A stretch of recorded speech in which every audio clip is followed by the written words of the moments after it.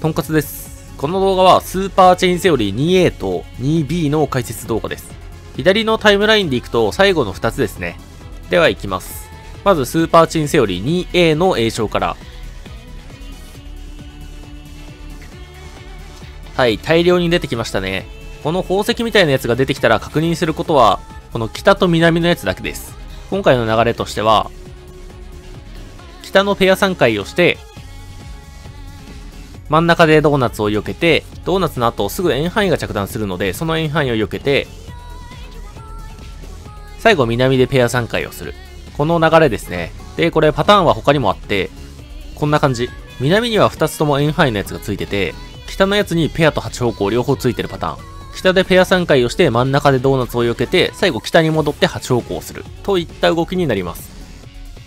もちろん南だけのパターンもあります。南でペア3回をして、真ん中でドーナツを避けて、最後また南に戻って、8方向3回をする、みたいな。ここまでは簡単ですよね。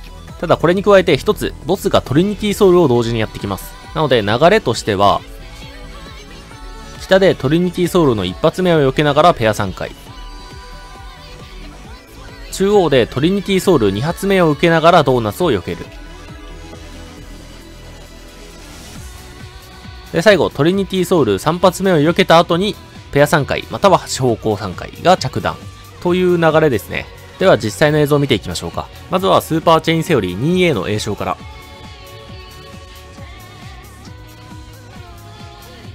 はい、今回は北でペア3回をして、真ん中でドーナツを避けて、最後、また南でペア3回ですね。で、これをしながらトリニティソウルの羽を確認します。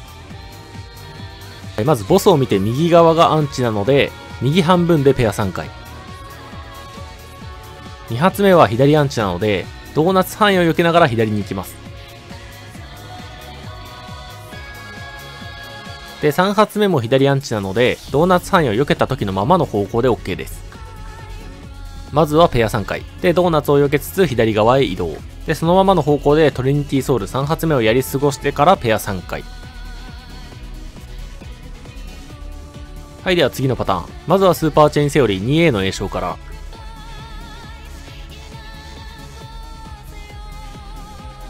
はい、今回は北側にペアと8方向がついてますね。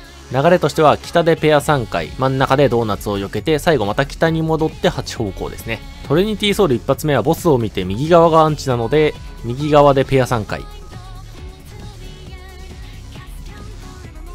2発目も右アンチなので、そのままでドーナツ3位を避ける。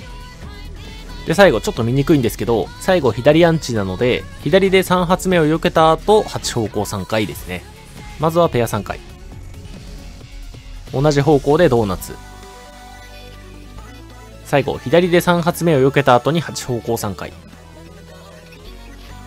はい、こんな感じです。これで 2A の解説は終わりです。次に行きます。2A が終わるとすぐにアポペリが来ます。アポだったらタンクは外で頭回り、他の人は中で頭回り。ペリだったらタンクは中で頭あり、他の人は外で頭あり。今回はペリなのでタンク中で頭あり、他の人は外で頭あり。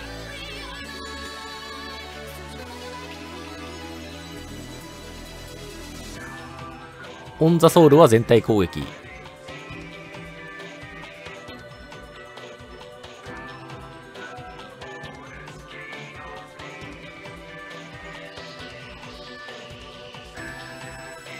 スーパーチェインセオリー 2B 最後のギミックです。はい、まずは北と南に出てる宝石のどっちかにドーナツが繋がってるので、ドーナツの方へ行きます。はい、で、さらにその後、東西に出る玉。そいつらには片方には円範囲、もう片方にはペア3回。これ今回はペア3回ですけど、8方向の時もあります。このドーナツを避けた後、そのペア3回か8方向3回が繋がってる球の方に移動します。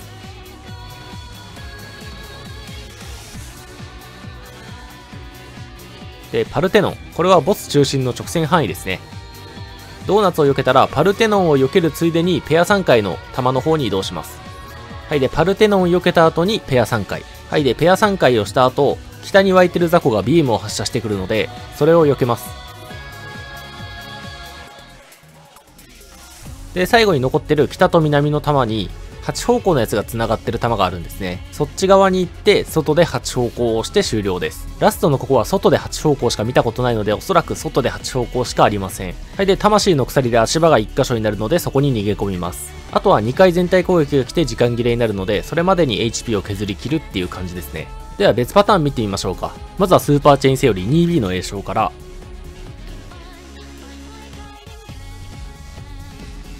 北と南でドーナツのついてる玉に移動。で、そこから右と左次どっちに移動するのかを確認。今回は右側に8方向のやつがついているので、右側に移動ですね。